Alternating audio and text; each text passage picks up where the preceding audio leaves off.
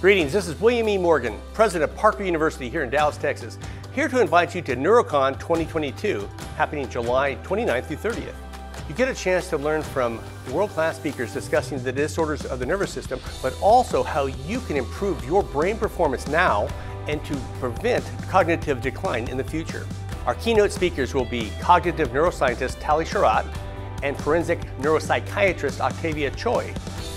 We also have neuroscientist Dr. Kimberly Noble and best-selling author Max Lugavere.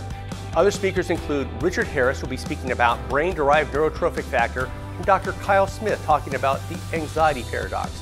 You have an opportunity to earn up to 12 continuing education hours. We hope to see you there. Please register today.